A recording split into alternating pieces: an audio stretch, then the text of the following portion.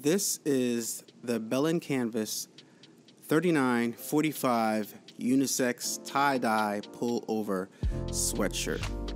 Listen, you cannot talk comfort unless Bella Canvas is in the conversation.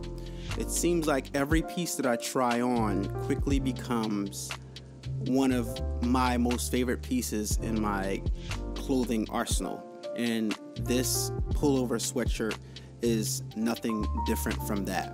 Right now, you can get this um, on their website, Fashion Forward, Bella Canvas 3945.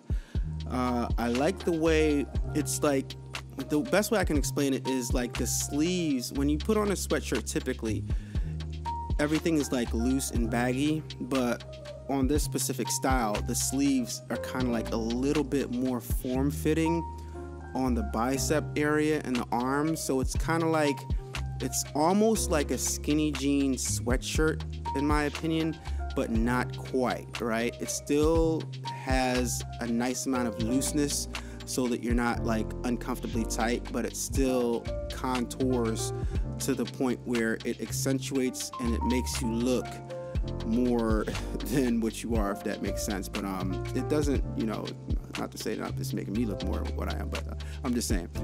anyway, guys, uh, I like this sweatshirt. You guys should check it out. If you know, it's it's an excellent sweatshirt to add to your collection. I love the print. I love the tie dye.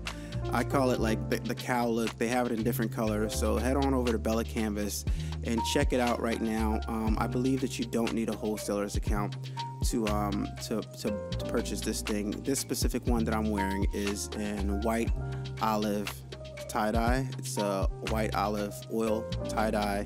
They have it available in gray black. They have it available in sky blue and they also have it available in a pastel but the pastel print is slightly different so check this out and let me know what you guys think um, I personally love it. I'm gonna start printing on this specific one soon so stay tuned if you guys want to see me screen print on this Bella Canvas 3945 fashion forward pullover sweatshirt.